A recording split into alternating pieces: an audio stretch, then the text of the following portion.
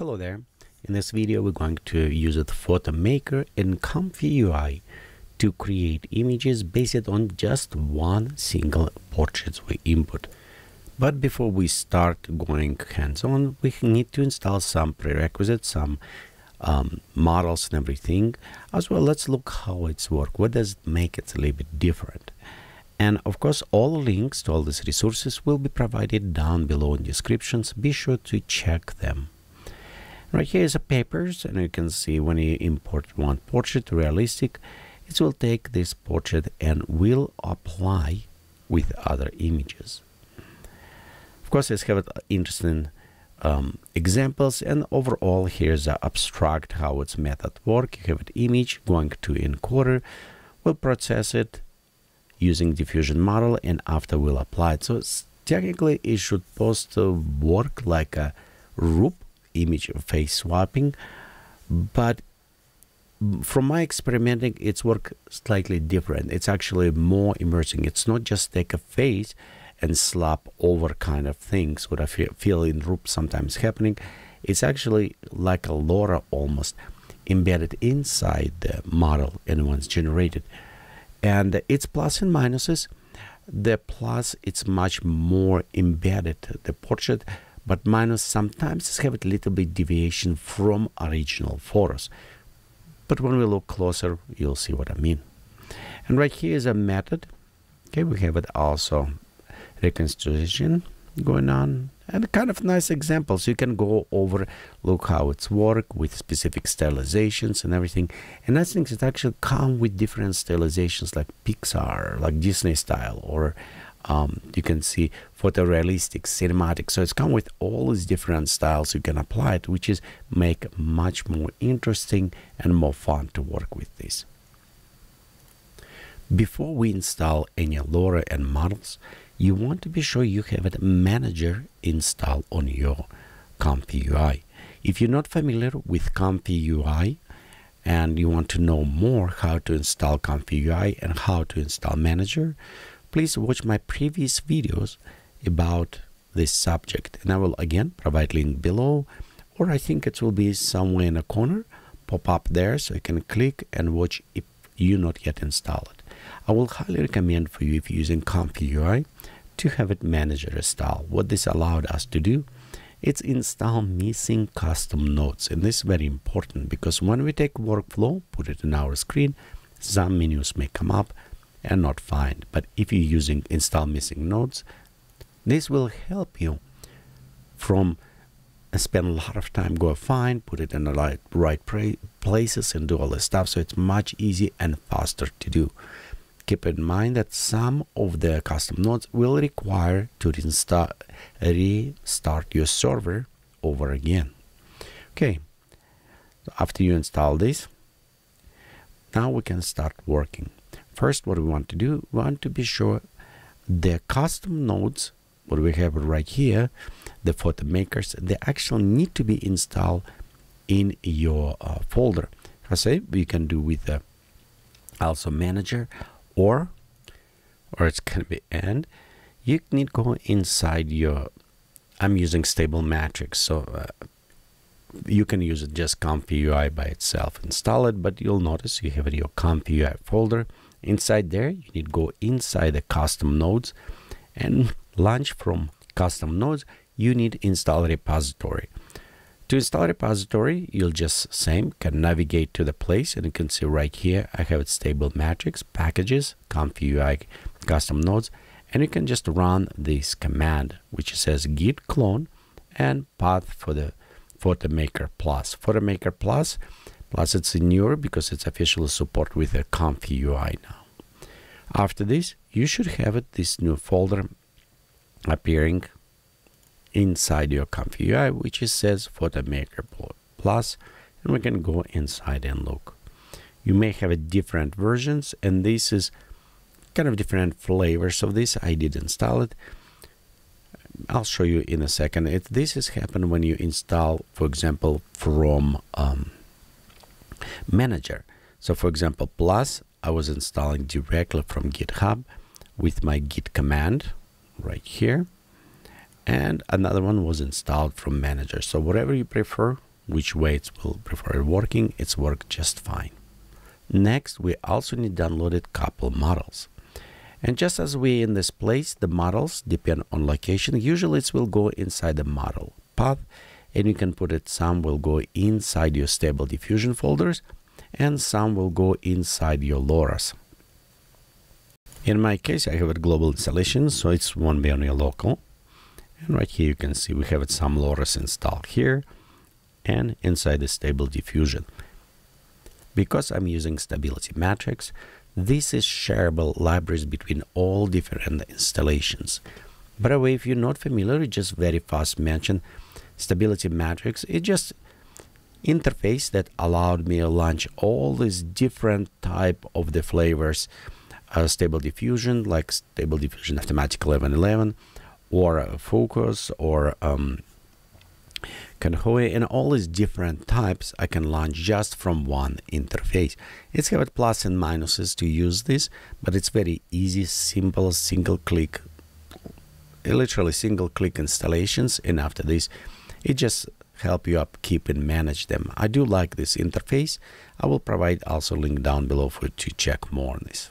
It's have a different versions of the PhotoMakers in implementations.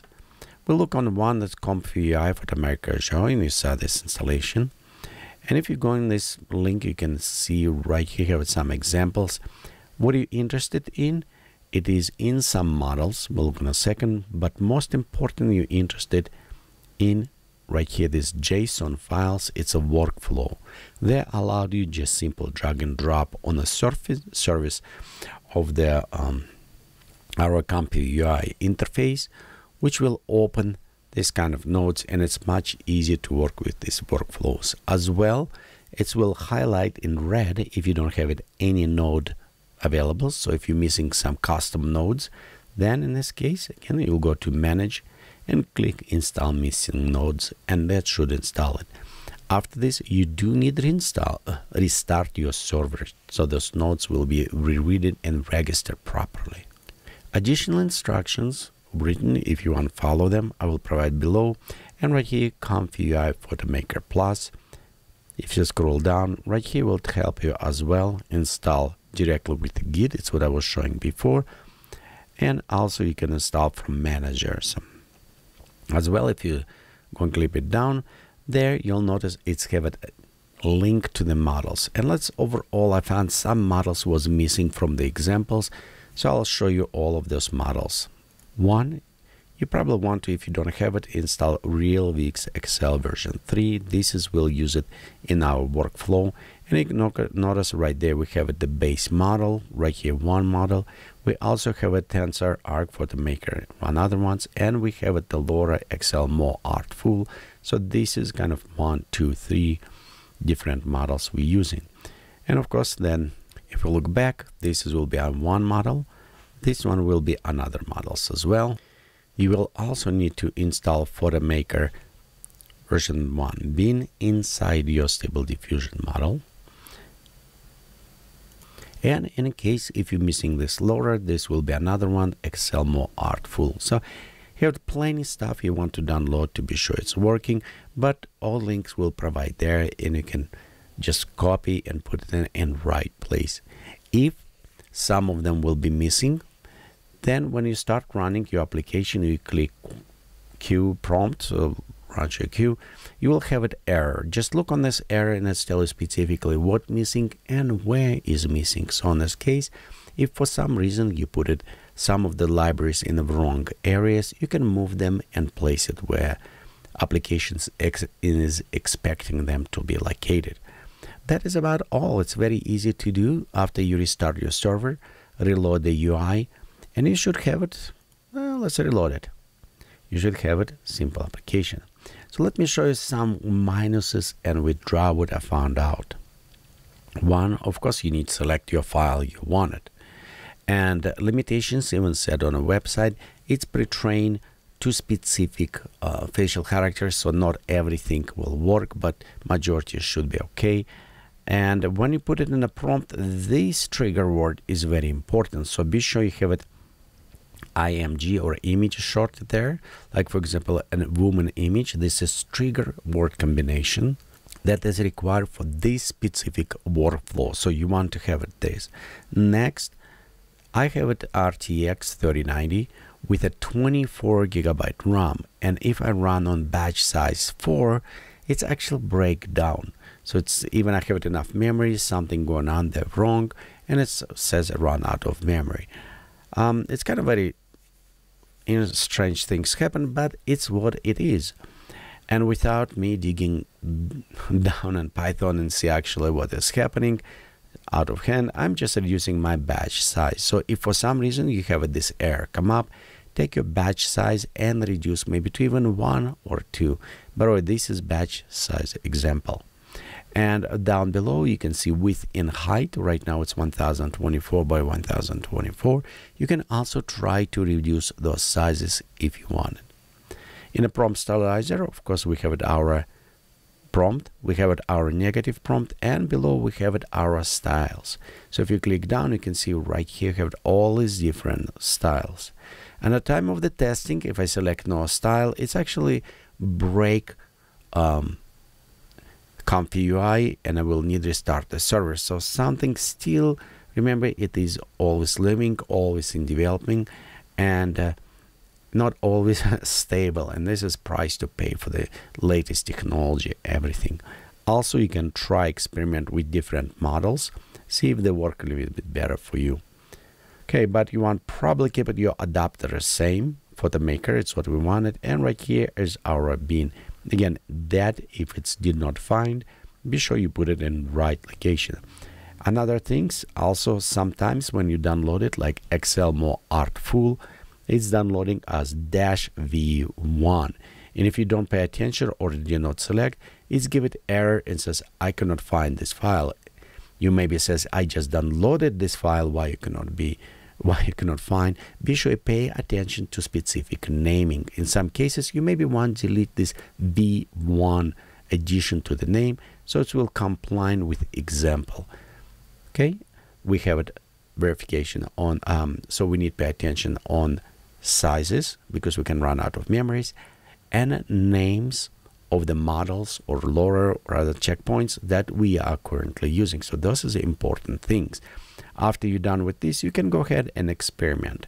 Most time, if you just press Q, and after a short time, it should generate it.